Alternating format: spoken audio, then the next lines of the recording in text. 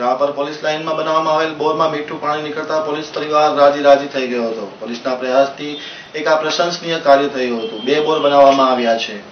Rapar police મથક ખાતે police તંત્ર દ્વારા હાલ ચાલી રહેલ દુષ્કાળના સમયગાળામાં લોકોને ઉપયોગી થાય તેવા ઉદ્દેશ સાથે એક બોર ખુલ્લો મૂકવામાં આવ્યો હતો. જિલ્લામાં હાલે ચારે બાજુ પાણીનો પોકાર પડી રહ્યો છે. ત્યારે રાપરના પીઆઈ આર એલ રાઠોડ એક સરાહનીય પગલું લઈને રાપરના PSI Chaudhary NV Rahevar, head constable Kishorsinh Jadeja, Samatbhai Ahir, Sartan Patel, Khimji Dhila, Nikulbhai, Talib માલાવત Sardarsinh Jadeja સેંધાજી Rajput, Pravin Desai, Jaysinh Tarar, Dungarpuri, નથુપુરી અને મહિલા કોન્સ્ટેબલને દુષ્કાળની વાત કહેતા પોલીસ પરિવારને કાયમી રાહત થાય તેવા હેતુ સાથે એક નવતર આયોજન શરૂ કરવામાં આવ્યું હતું. રાપર પોલીસ લાઇન મથકે પોલીસ લાઇનમાં બે બોર બનાવવાની યોજના સફળ સફળ રીતે પરિપૂર્ણ થઈ હતી, જેમાં સ્ટાફના માણસોએ અંગત રસ પોતાનો ફાળો આપીને બે બોર બનાવવામાં આવ્યા હતા.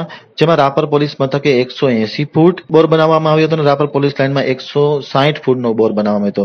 આમ પોલીસ લાઇન અને પોલીસ મથક ખાતે બે બોર બનાવતા સારું એવું મીઠું પાણી નીકળ્યું હતું અને પીઆઈ રાઠોડ સહિતના પોલીસના સભ્યોએ ખૂબ ખૂબ ખુશાલીની લાગણી વ્યક્ત કરવામાં આવી હતી. આ અંગે સહયોગ આપનાર રાપર નગરપાલિકાના ઉપપ્રમુખ હઠુભા સોઢા, નગરપાલિકાના પૂર્વ પ્રમુખ રમેશભાઈ શિયારિયાએ પણ રાપર પોલીસના પગલાની ખૂબ ખૂબ પ્રશંસા કરી હતી અને હાલ દુષ્કાળના સમયગાળામાં જે નવા બે બોર બનાવવામાં આવ્યા છે, તેમાં મીઠું પાણી નીકળ્યું છે.